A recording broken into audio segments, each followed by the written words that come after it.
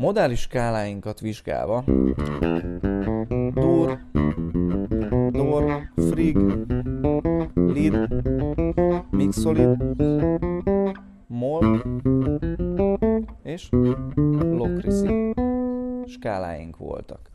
Ha ezekből a skálákból, mindegyik skálából, mindegyik fokon kiemeljük az adott skálából az első, harmadik, ötödik, hetedik hangot, akkor négyes hangzatot kapunk, azaz megtudhatjuk, hogy milyen négyes hangzatra építhetőek a modális hangsoraink. A dur skálából kiemeljük az első, harmadik, ötödik és hetedik hangot, akkor ez egy nagy terc, kis terc, dur hármas hangzatot ad. És ha a H hangot kiemeljük a C-ből, mind hetedik hangot, ez egy nagy szeptimet ad. A nagy szeptimet majornak hívjuk, és mivel dur hármas hangzatra építettük, így a dur skála, ez egy dur, major akkordra bátran építhető. A második fokunk ugye a dor skála,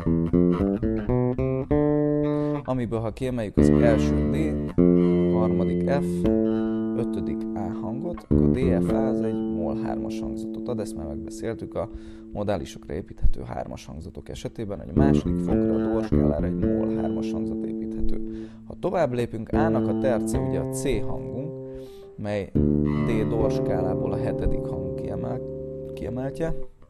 Ez egy kis szeptim távolság, hiszen az oktáv hangtól egy egész hangra található visszafelé.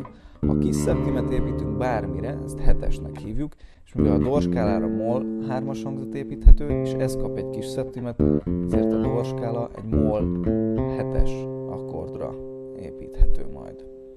Tovább haladva, a frig skálánkból kiemelve az első, harmadik, ötödik és hetedik hangot, azaz az E, G, H, D hangokat. Az E, G, H az egy mol hármas hangzat, amit már megbeszéltünk, és ez kap még az éhez képest egy D szeptim hangot, ami ugye az oktáv éhöz, éhez képest egy egész hangra van vissza. Ez egy kis szeptim távolság az alap E hangunkhoz képest. A kis szeptim az ugye az előbb is megtanultuk, 7-es, és mivel MOL 3-as hangzer építhető kis szettő, ezért egy MOL 7-es akkordra építhető a freak skála. A lead skálánk ból kiemelve első, harmadik, ötödik, hetedik hangot, ugyanazt tapasztaljuk, mint az első fokon a dúr esetében.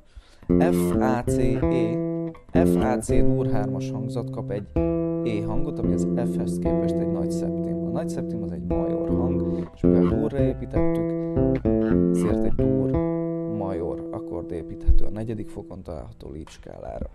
A mix, mixolit skála első, harmadik és ötödik hang, ö, első, harmadik, ötödik és hetedik hangját kiemelve G, H, D, F hangot kapunk. A G, H, D 3-as hangzat, ez egy dur 3-as hangzat.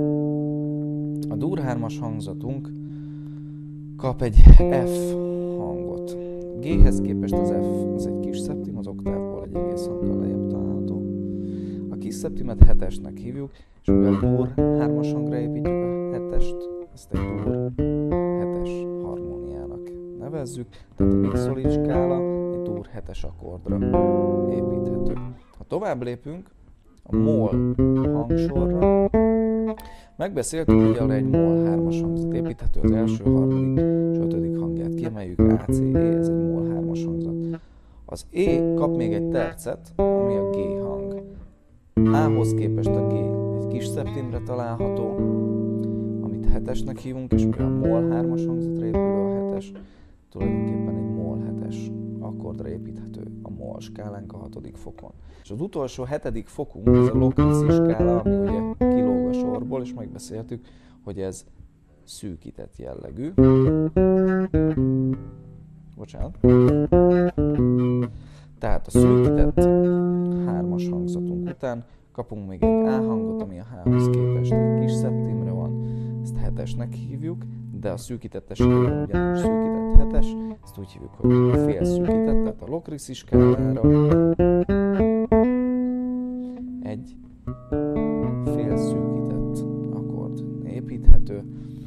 Ezek a négyes hangzatok építhetők a modális hangsoraink. Ra, az első fokra egy dur major, a második fokra egy mol hetes, a harmadik fokra egy mol hetes, a negyedik fokra egy dur major, ötödik fokra egy dur hetes, hatodik fokra egy mol 7-es, és a hetedik fokra egy félszűk